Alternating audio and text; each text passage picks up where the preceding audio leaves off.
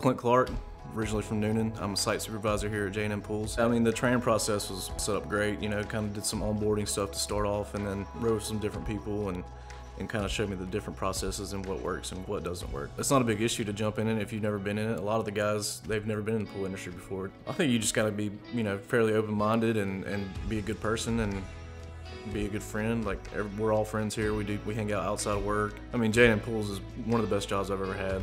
Uh, probably the best job. It's just such a family environment, and the quality of work is just unmatched. You know, sometimes we'll take a hit monetary wise to make it right for the customer, and I, I think that kind of sets us apart. They can bob and weave and, and do what's best for us and, and for the customer.